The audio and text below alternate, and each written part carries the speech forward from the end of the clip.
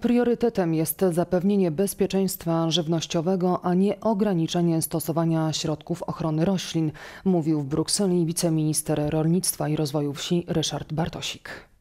Rada Ministrów Rolnictwa Unii Europejskiej rozpatrywała kwestię obniżenia stosowania środków chemicznych w uprawie roślin. Myśmy zwrócili uwagę, że niedostateczna jest ocena skutków tych regulacji, szczególnie w sytuacji e, wojny, szczególnie w sytuacji mm, obaw o e, wyżywienie społeczeństwa w Europie i na świecie. 22 czerwca opublikowany został projekt rozporządzenia o zrównoważonym stosowaniu środków ochrony roślin. Komisja Europejska zaproponowała m.in. ograniczenie o 50% stosowania chemicznych środków ochrony roślin do 2030 roku na poziomie Unii Europejskiej. W zależności od dotychczasowego poziomu zużycia na poziomie krajów członkowskich do 2030 roku redukcja ma wynosić 35%, 50% lub 65%. Tam jest wiele znaków zapytania, zadajemy wiele e, pytań, e, choćby i takie, że nie wszystkich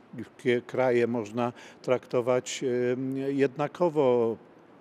W Polsce, w krajach Unii Europejskiej, z Europy e, Wschodniej. Środków ochrony roślin stosujemy mniej, w związku z tym takie cięcie o 50% we wszystkich krajach Unii jest dla nas e, nie do przyjęcia. Mamy też wątpliwości co do produktów żywnościowych z importu, gdzie tego w ogóle się nie kontroluje i było to też niekonkurencyjne dla naszych towarów rolno-spożywczych. Nagłe ograniczenie środków mogłoby spowodować zmniejszenie produkcji żywności.